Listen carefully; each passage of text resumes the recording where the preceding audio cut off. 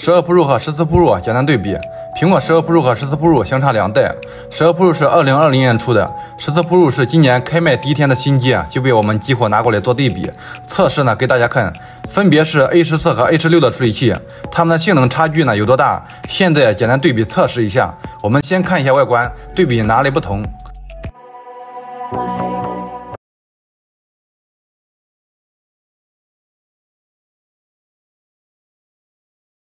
再来跑个分测试一下，测试下来十四 Pro 领先二十多万。接下来我们对比一下加载速度，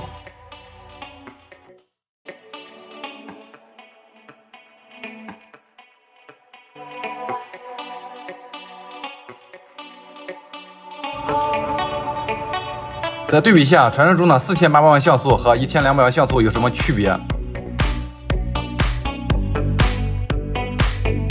再看看夜间拍摄效果怎么样？